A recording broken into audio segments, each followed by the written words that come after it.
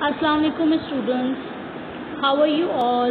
I hope you all are fine. Uh, I am your science teacher. Today I am conducting your class. Our last topic was kinds of mixtures. Today's topic is separating mixture. There are many ways of separating mixture.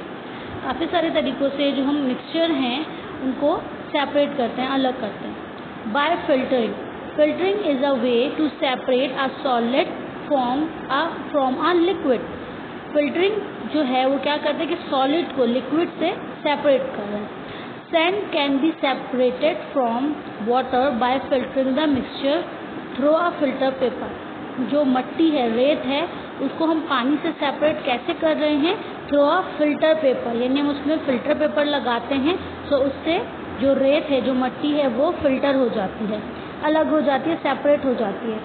The water will pass through, but the sand will be left on the filter paper जो पानी है वो filter paper में से गुजर जाता है पास हो जाता है, और जो रेत है, मट्टी है, वो फ़िल्टर पेपर के ऊपर रुक जाती है। Next by evaporating salt can be separate from water by heating the solution like एक सोल्यूशन हमने बनाया कि हमने हाफ़ ग्लास पानी के अंदर जो है, वो हमने तीन से चार चम्मच जो है वो सॉल्ट को डिज़ोल्व कर दिया। सो so, अब ये जो मिक्सचर है जो सोल्यूशन बन गया उसको हमने सेपरेट कैसे किया? बाय एवापोरेटिंग में हमने उस पानी को जब हीट किया तो हीट करने से क्या हुआ कि जो पानी था वो एवापोरेट हो गया और सॉल्ट जो है वो लास्ट में उस बाउल में उस पॉट में रह जाएगा। Like water will evaporate from the solution and the salt will be left behind यानी पीछे जो है वो सिर्फ़ सॉल्ट है, वो रह जाएगा और वाटर जो है वो एवापोरेट हो जाएगा, यानी उड़ जाएगा।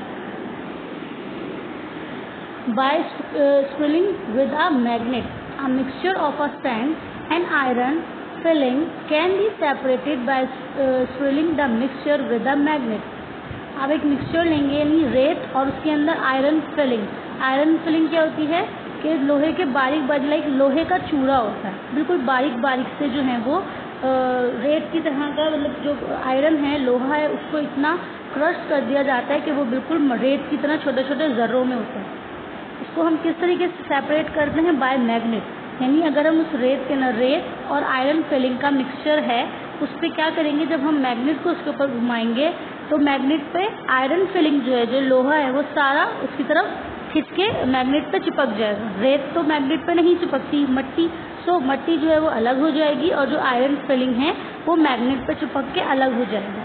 The iron filing will stick to the magnet and the sand will be left behind ये रेत रह जाएगी और जो आयरन फिलिंग है, वो मैग्नेट पे लग के अलग हो जाएगी। By adding water a mixture of coloured substance in black in black ink can be separated by adding water to it आपने एक ब्लैक इंक ली, ठीक है? ब्लैक इंक में आपने क्या किया? उसमें वाटर ऐड किया, पानी मिलाया। तो क्या होगा? जब आप उसमें पानी ऐड करेंगे तो जो मिक्सचर बना हुआ है कलर सब्सटेंस है। उसमें क्या है कि थोड़ा डार्क पर्पलिश का कलर और डिफरेंट कलर्स जो है, यानी ब्लैक के अंदर जो है वो उसके ब्लैक इंक में से डिफरेंट कलर जो है वो अलग होंगे। उसमें हम पानी ऐड जितना करते जाएँगे, वो लिक्विड जो सब्सटेंस आएँगे जो इंक थी, वो लिक्विड फॉर्म में थी। डिफरेंट कलर्स से मिलके जो वो ब्लैक इंक बनी तो उसके कलर्स जो हैं वो अलग अलग होना शुरू हो जाएँगे। तो वो सेपरेट हो जाएँगे by adding water by decantation in an insoluble solid can be separate from a liquid by pouring of the clear liquid from the top of the mixture this process is called decantation okay जो insoluble solid हैं हमारे, उनको हम किस तरीके से separate करते हैं कि हम उसके अंदर जो है वो लिक्विड डालते हैं क्लियर लिक्विड डालते हैं टॉप ऑफ़ द मिक्सचर यानी जो मिक्सचर है उसके टॉप पे हम क्लियर लिक्विड ऐड करते हैं, जिससे जो है वो इनसॉल्युबल सॉलिड जो है वो क्या होते हैं सेपरेट हो जाते हैं, अलग हो जाते हैं। और इस प्रोसेस को हम क्या कहते हैं decantation the insoluble substance will remain at the bottom of the vessel जो इनसॉल्युबल यानी जो हल नहीं हो सकते सब्सटेंस वो क्या है?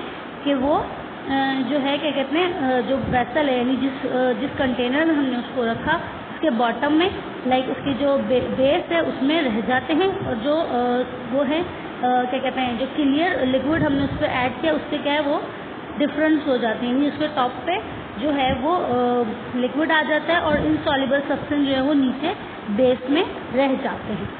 ठीक है? आज का हमारा ये टॉपिक कंप्लीट हो गया और हमारा चैप्टर नंबर टू भी कंप्लीट हो गया। नेक्स्ट वीडियो में इंशाल्लाह हम चैप्टर थ्री स्टार्ट करेंगे। अपना जब तक के लिए अपना ख्याल रखिएगा। अल्लाह हाफ़